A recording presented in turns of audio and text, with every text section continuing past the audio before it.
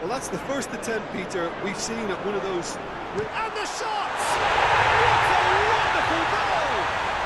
Well, whenever he reminds us of his wondrous skill set, it's usually something very memorable or even unforgettable. We'll certainly remember that one. Yeah, they've only got themselves to blame. Mistakes in those areas are very punishable.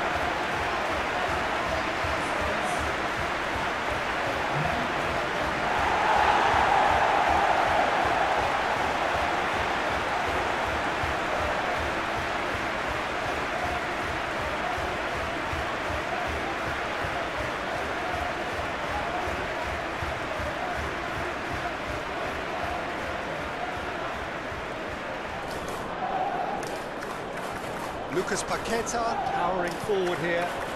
And here's Ings. It's Ings! It's in! And he stuck it away as if laser guided. Well, Peter, I think the keeper knew straight away he was never going to get to it.